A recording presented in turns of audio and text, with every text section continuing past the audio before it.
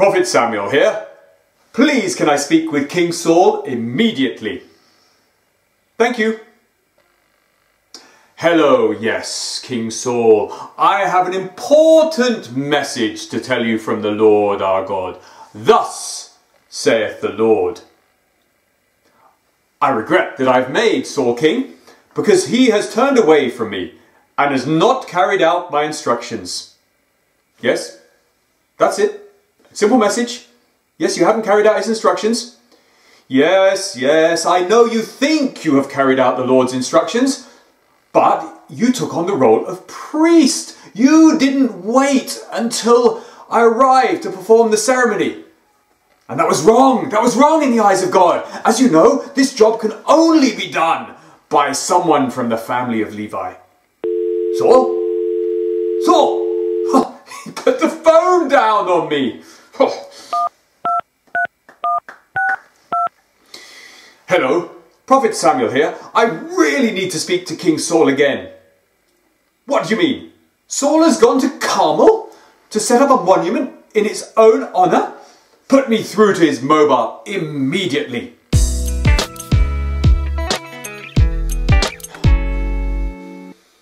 Saul, I Saul, I have another message from the Lord for you.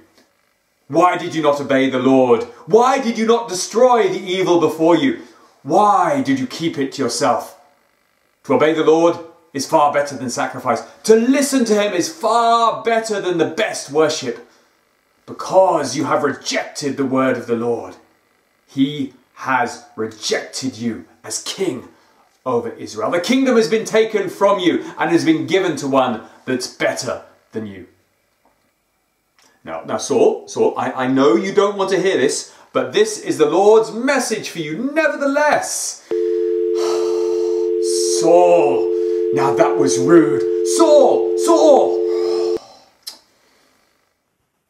Why are you mourning? I have rejected Saul as king. Come on, get up. Bring your oil. I'm sending you to Jesse of Bethlehem. There you will find one of his sons to be king.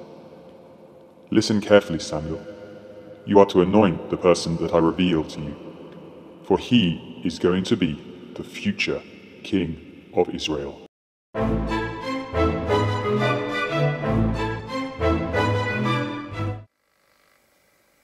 Good morning, Jesse. Good morning, Prophet Samuel. Let me introduce my seven sons to you.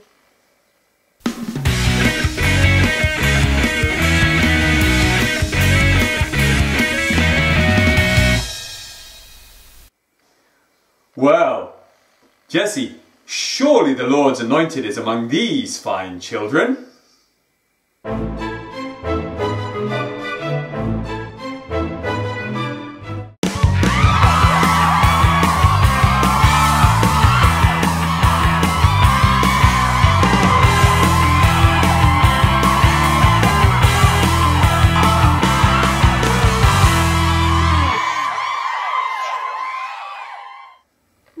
Son's name is Eliab. He's just back from recording his latest album. Well, he is mighty handsome. Surely he is the one God has chosen to be the next king. Samuel, you are looking at the wrong things. Don't consider his height or appearance. I have rejected him. People look at the outside appearance. I look at the things on the inside. I look at the heart. Well, Jesse, what about your second son? What is his name?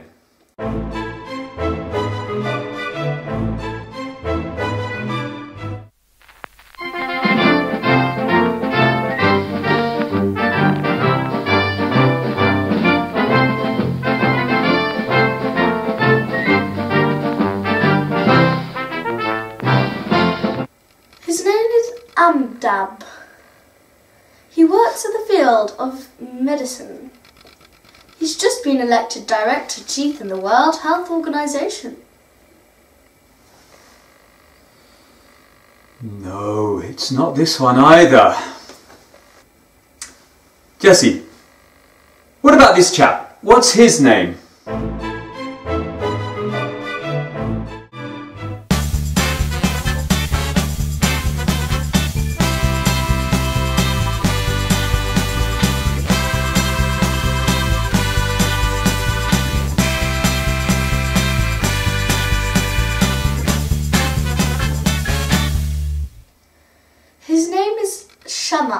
He just won the Bethlehem Golf Championships for the eighth year running.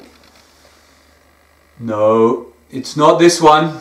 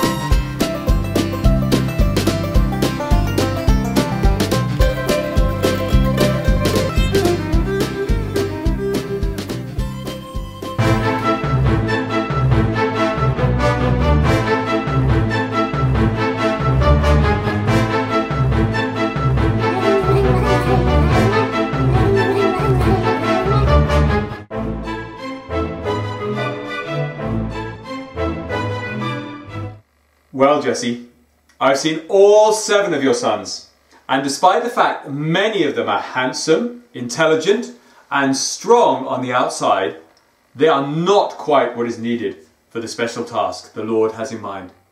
God said he was looking for someone with a heart for him. This doesn't make sense, Jesse. God sent me to your family to see your sons, but not one of these fine young people is the right one for the job. I still have one young son, the runt of the family. He is tending the sheep on the hills, but surely he is too young and not grown enough to serve the Lord. Send for him. We will not sit down until he arrives.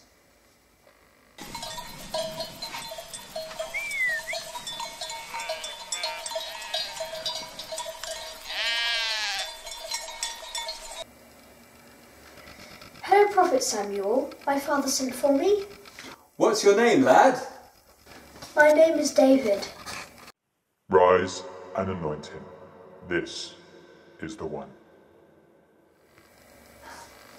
I anoint you to be king over Israel.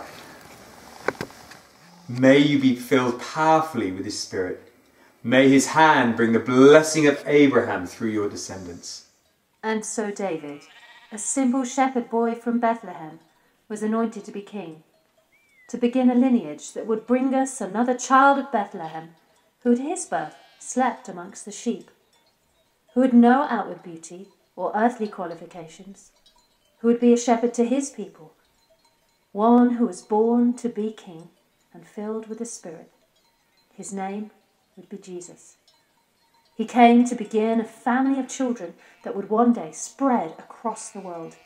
That no matter where we are, whatever our gifts or our talents, however old we are, even if we feel forgotten or left behind, we too all might be filled by the Spirit and chosen and given a purpose by God.